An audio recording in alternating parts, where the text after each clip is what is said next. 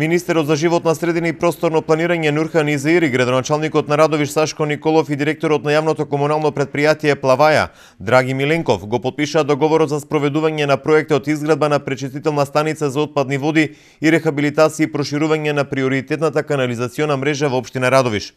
Вкупната вредност на договорот за градба ново инфраструктурен објект изнесува 6 милиони 700 илјади евра, а средствата се обезбедени преку инструментот на Европската унија за предпристапна помош предвидена во рамките на оперативната програма за регионален развој до 2013 и кофинансиран од буџетот на Македонија. Со проектот ќе се обезбеди прочистување на урбаните отпадни води на Радовиш и населбата Раклиш, со што ќе се придонесе директно кон заштита на водите на Стара река.